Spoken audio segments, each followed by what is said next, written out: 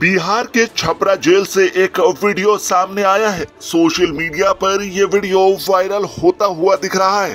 दरअसल इस वीडियो में कुछ कैदी मोबाइल की मौजूदगी में मस्ती करते हुए नज़र आ रहे हैं। जी हाँ बिहार के छपरा से एक वीडियो सोशल मीडिया पर तेज़ी से वायरल हो रहा है। इस वीडियो में कुछ कैदी जेल में डांस करते नज़र आ रहे हैं।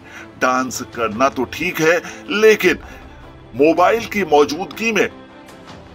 ये डांस कहीं ना कहीं जेल प्रशासन की लापरवाही पर सवाल उठा रहा है। वीडियो को लेकर जेल अधीक्षक ने कहा है कि ये वीडियो काफ़ी पुराना लग रहा है और हम इस मामले की जाँच करवा रहे हैं। वर्तमान में जेल में कोई मोबाइल नहीं है।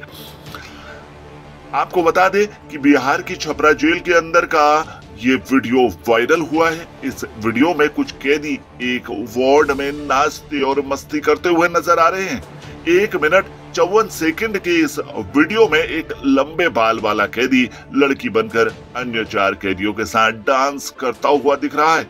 अन्य कैदी मस्ती करते हुए दिख रहे हैं, लेकिन कैदियों के चेहरे और कपड़ों पर गुलाल लगा हुआ है।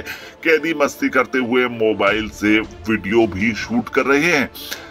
इस वीडियो के वायरल होते ही छपरा मंडल के जेल प्रशासन में हड़कंप मच गया कि आखिर कैदियों के पास मोबाइल कहाँ से आए? हालाँकि जेल अधीक्षक राधेश्याम सुमन ने इस वीडियो को काफ़ी पुराना बताते हुए पल्ला झाड़ने की कोशिश की है। उन्होंने ये भी कहा है कि अति सुरक्षित जगह पर मोबाइल से वीडियो शूट होकर वायरल होने की बात पर जाँच भी होनी चाहिए।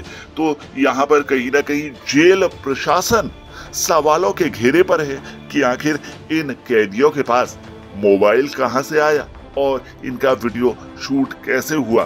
तो यहाँ पर सुरक्षा के लिहाज से जेल प्रशासन पर सवाल उठ रहे हैं, जहाँ कैदियों की इस हरकत से कहीं ना कहीं जेल प्रशासन अब मुश्किलों में खड़ा हुआ नज़र आ रहा है। फ़िलहाल के लिए इस वीडियो में इतना ही। बाकी खबरों के लिए बने रहिए हमारे साथ, देखते रहिए हमारे चैनल को क्योंकि यहाँ मिलेंगी आपको तमाम बड़ी खबरें।